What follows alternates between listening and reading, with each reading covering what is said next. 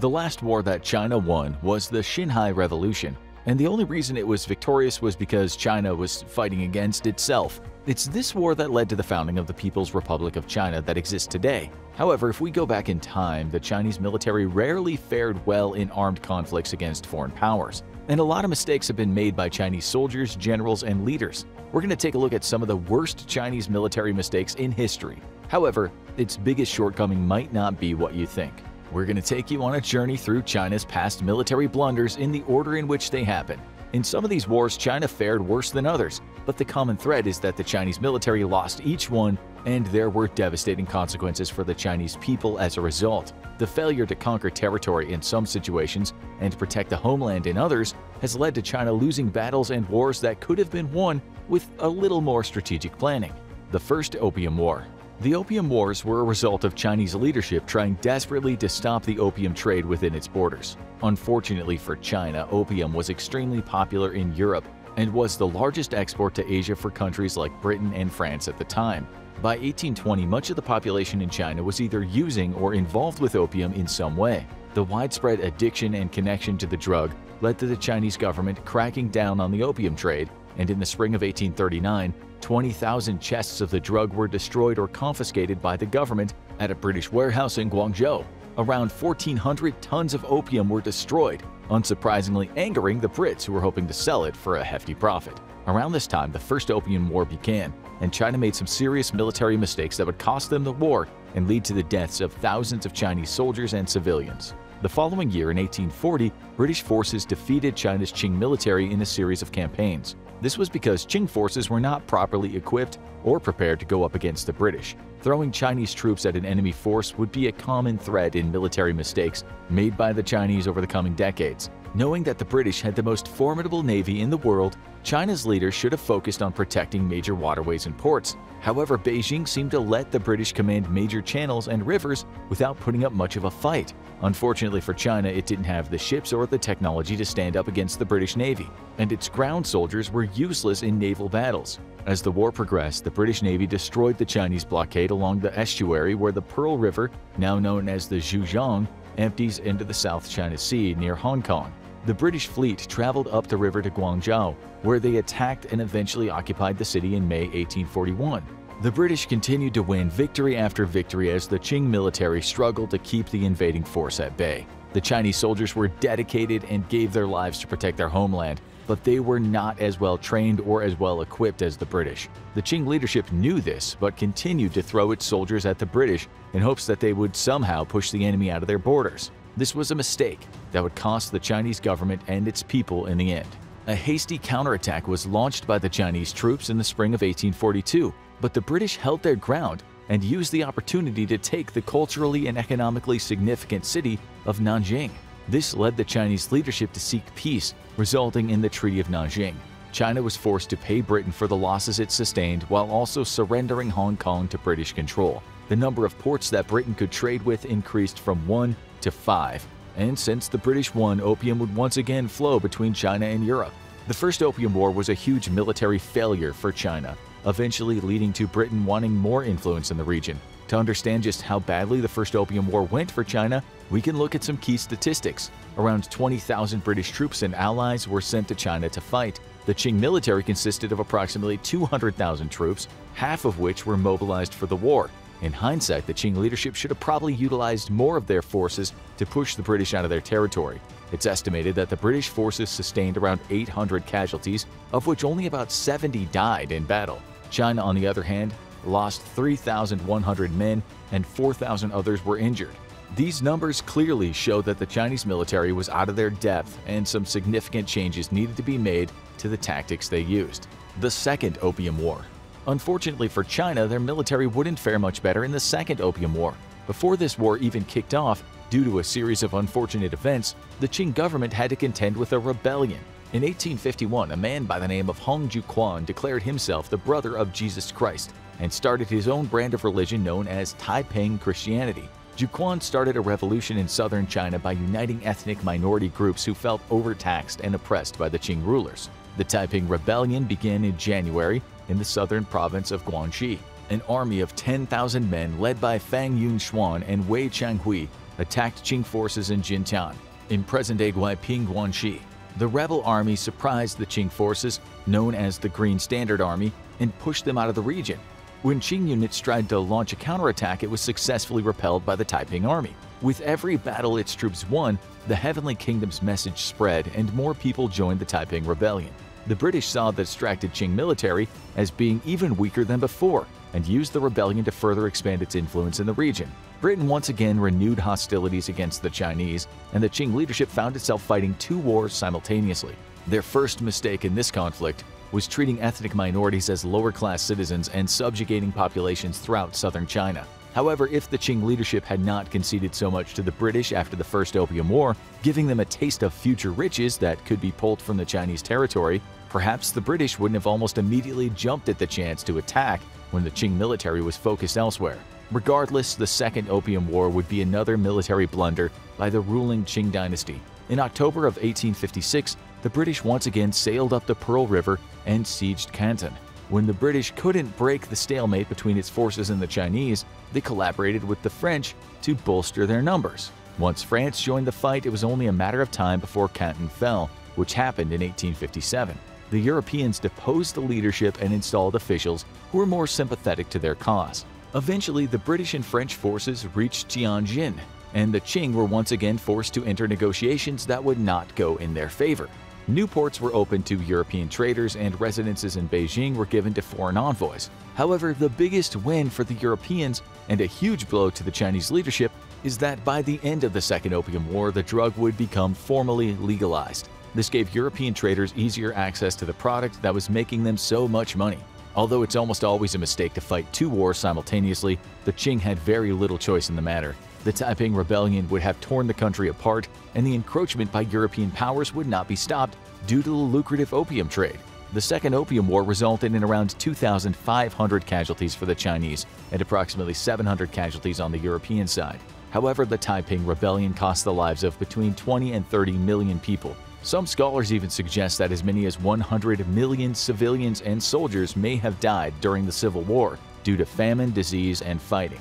The Sino-French War just over two decades after the carnage of the Second Opium War and Taiping Rebellion, the Chinese military once again found themselves at war with a familiar foe. But before we find out who they went to war with next, first we want to thank the sponsor of today's video, War Thunder. Are you looking for the most comprehensive vehicle combat game ever made? Then you have to check out War Thunder. In War Thunder, you get to take command of over 2,000 vehicles, from tanks and planes to helicopters and ships that span over a century of development from the 1920s all the way to modern day, and each is modeled down to their smallest details to make the most realistic and immersive combat experience ever. And War Thunder has one of the most in-depth customization systems for vehicles out there, allowing you to apply literally hundreds of different camouflages, historical markings, and 3D decorations that you can apply anywhere on your equipment to truly make each vehicle your own. I loved seeing my own highly customized tank rolling across the battlefield in beautiful 4K resolution.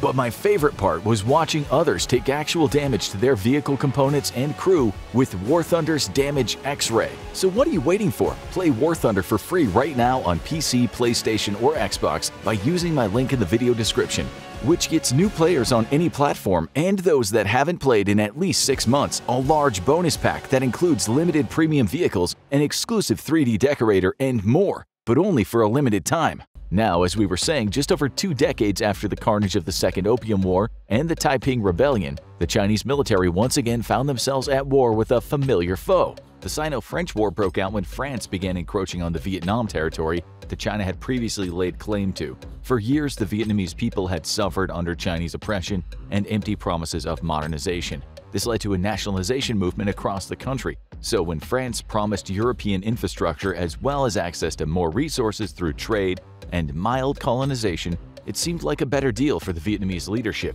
By 1880, French troops had reached the borders of Chinese-held Vietnam, known as Cochin China. France had been able to defeat Chinese forces in the past alongside the British in the Second Opium War, and it was clear that the Chinese military had continuously made the same mistake of overextending itself. So French leadership concluded that the Chinese military was only a small barrier to overcome in order to secure Vietnam. This led to the French pushing further north and moving troops into Hanoi and Haiphong. China tried to be strategic in its response, but like in the past, things didn't always go their way, and thousands of Chinese soldiers would die. The Sino-French War was another military defeat in just over half a century. Between 25,000 and 35,000 Chinese troops were sent to Vietnam to protect the territory, but did very little to push France out of the region. In 1882, the great Chinese statesman Li Hongzhang tried to negotiate an agreement to turn Vietnam into a joint protectorate of France and China.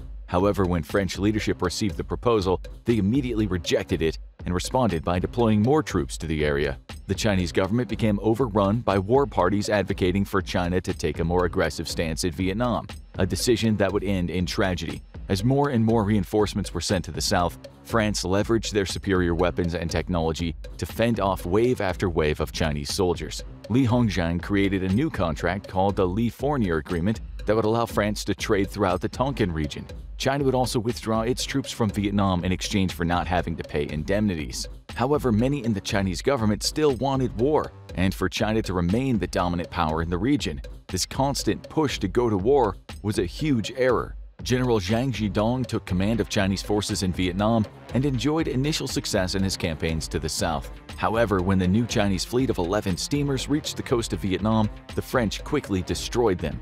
In 1885, the Chinese military suffered several major defeats, solidifying the fact that the war parties in Beijing had made a terrible mistake. At the Battle of Hoa Moc, the French 1st Brigade of the Tonkin Expeditionary Corps defeated Black Flag and Yunnan Army's forces. This prevented Chinese soldiers from reaching the French outpost at Tuyen Quang, which could have been a turning point in the war. When the siege was finally called off and the Chinese forces retreated to the west, around 76 French soldiers had been killed, with Chinese casualties much higher. The Sino-French War ended when a peace treaty was signed in Paris in 1885. China agreed to recognize the Li Fournier Agreement and provided France with trade opportunities throughout much of Vietnam. China was also forced to remove its armies from the region.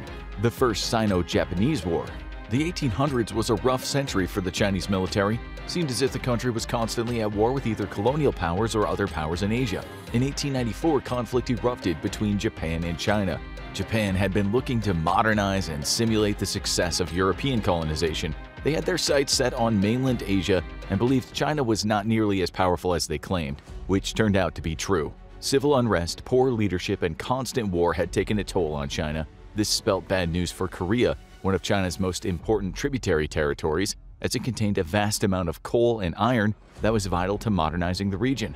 Japan knew Korea could also serve as a staging ground for future invasions from the mainland to their islands. If Japan was to continue to grow its power and influence, it needed to expand its borders, and Korea's location and natural resources made it the perfect territory to colonize. In 1875, Japan began influencing politics in Korea to allow for more lucrative trade opportunities. Tokyo then began to support radical forces within the Korean government that wanted to push the country toward modernization, while the Chinese backed the conservative officials who were more closely aligned with their own desires. Things started to go from bad to worse when pro-Japanese reformers tried to overthrow the Korean government in 1884. This led to China sending in troops led by General Yuan Shikai to rescue the Korean king but resulted in the deaths of several Japanese legation guards.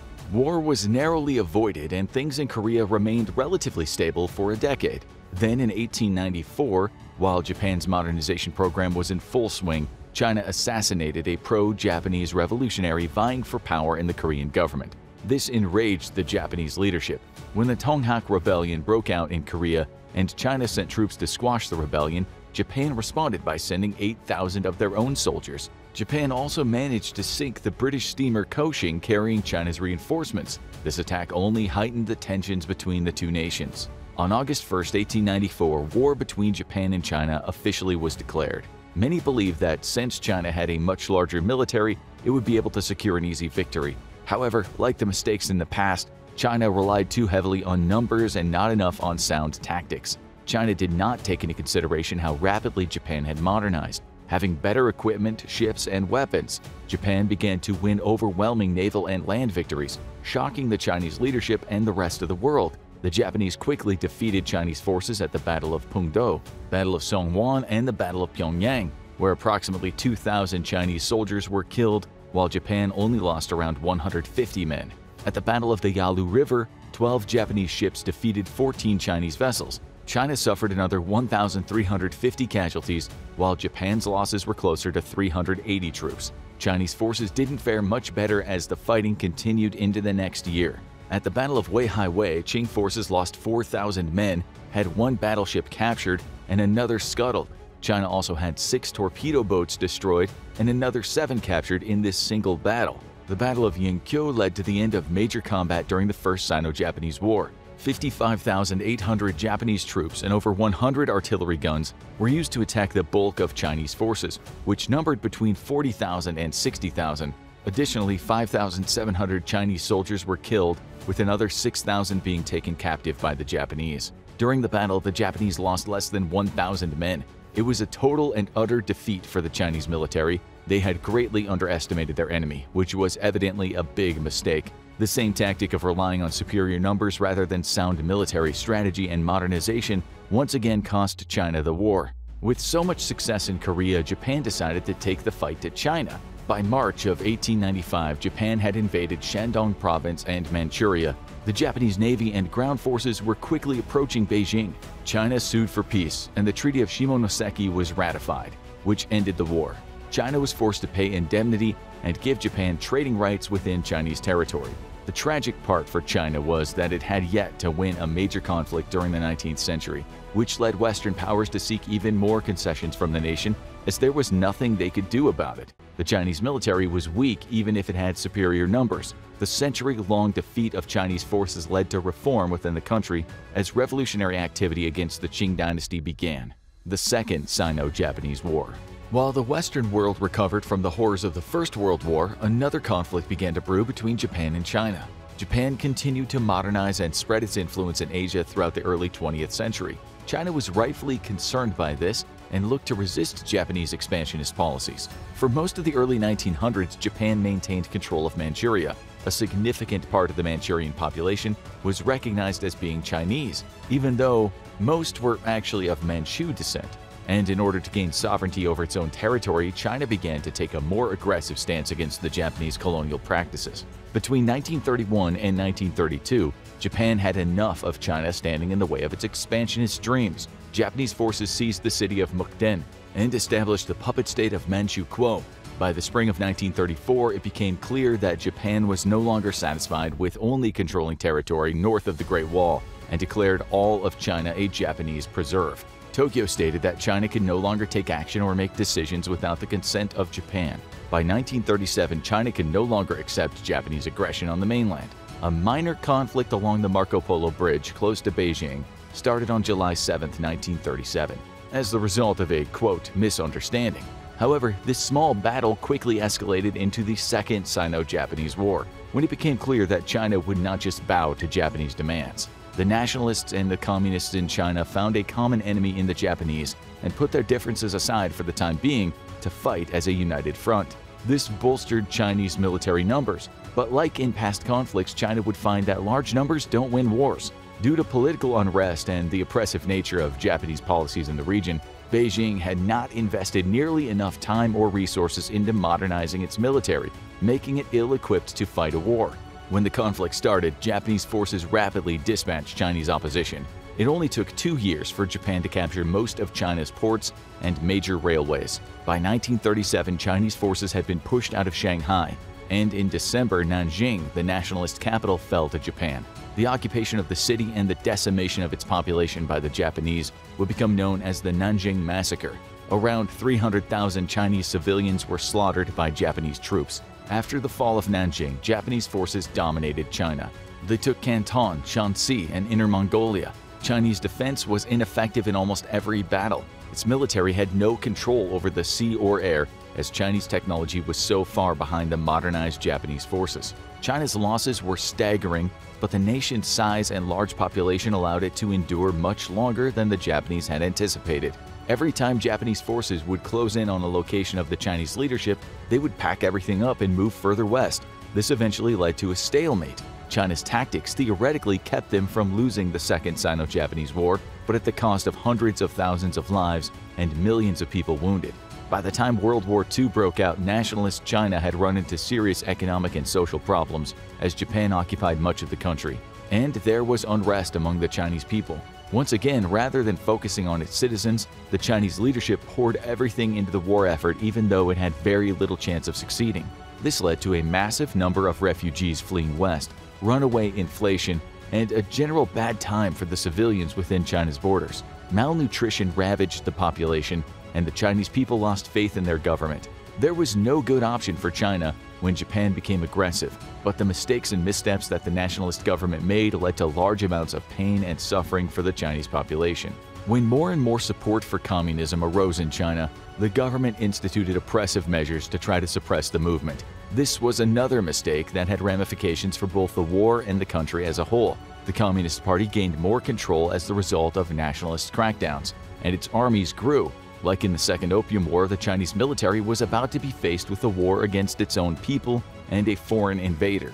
Clashes between the nationalist forces and communist forces began throughout the region, all while Japanese occupied much of the country. The inability of China to remain unified even during one of its bloodiest wars in history shows how poor leadership may have been one of its biggest weaknesses. The main reason China was eventually able to reclaim the territory occupied by Japan was because of the intervention of the United States. As the war in the Pacific erupted in 1941, the U.S. began sending supplies to China from India. The U.S. trained Chinese soldiers and engineers. However, Chinese forces had been diminished to the point that they played a relatively small role in pushing Japan out of mainland Asia.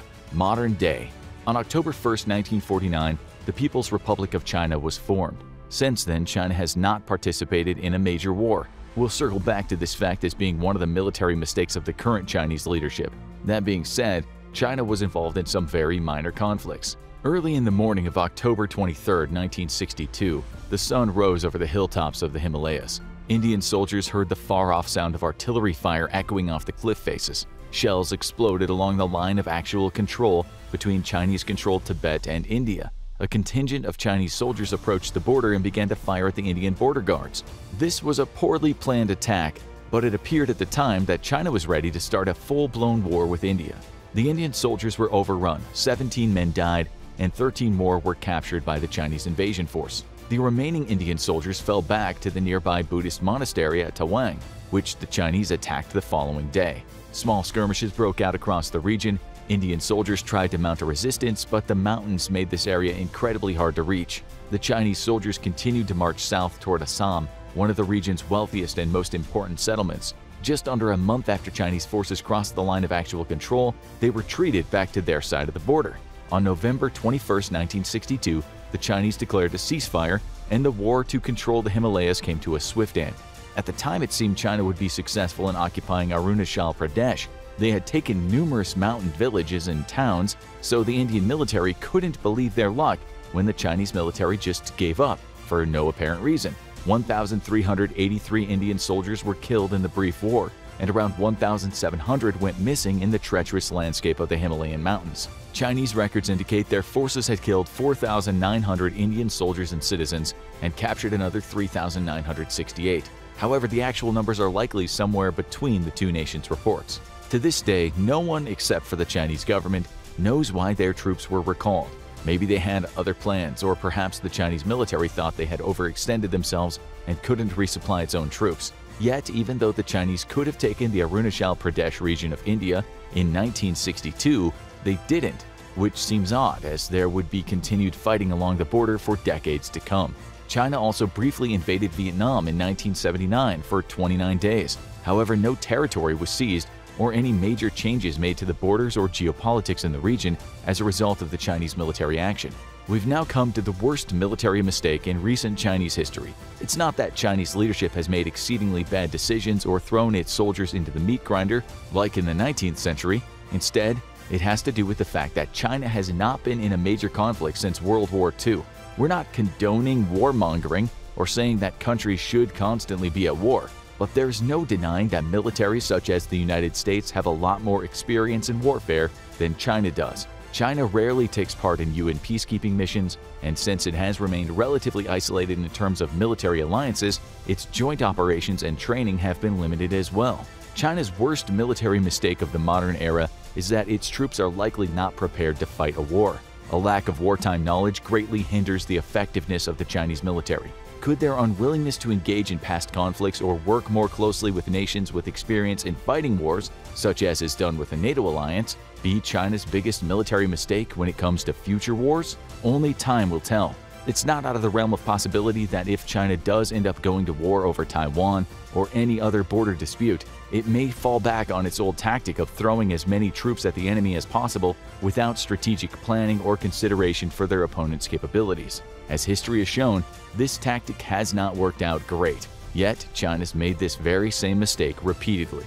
Thanks again to the sponsor of today's video, War Thunder. Don't forget to click the link in the description where new and returning players can get a large bonus pack with multiple premium vehicles, an exclusive 3D decorator, and more. But hurry, it's only available for a limited time.